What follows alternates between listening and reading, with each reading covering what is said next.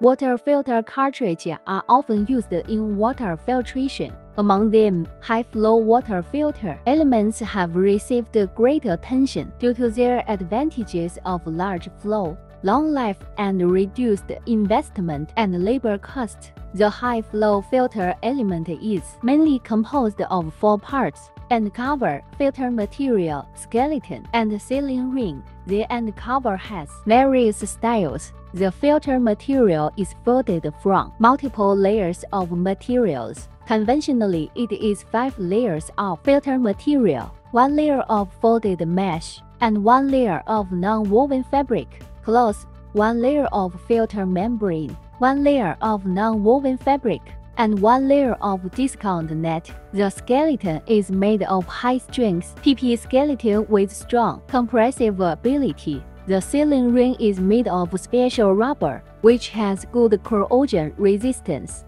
anti-aging, and good mechanical properties. It is widely used in RO cartridge, filter housing, ultrafiltration, and reverse osmosis equipment, and is also often used in petrochemical biopharmaceutical, microelectronics, and other industries.